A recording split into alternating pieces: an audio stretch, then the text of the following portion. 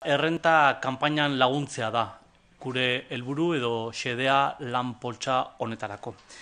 Egin behar teknikoetan laguntzeko, jende aurreko harretan e, ibiltzeko edo zalantzak argitzeko teknikariak behar ditugu, erdi mailako e, teknikariak, eta hortarako esan bezala lan poltsa bat abian e, jartzea erabaki dugu.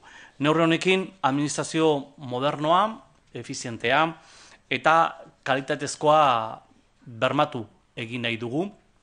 Eta horretik aurreko usten da, laro zei pertsonek inguru horretan, ba, ogasun saila benetan e, indartua gilitzen dela, eta ulertzen dugu gainera behar beharrezkoa dela ba, kalitatezko zerbitzu bat ematea errentako e, kanpainan.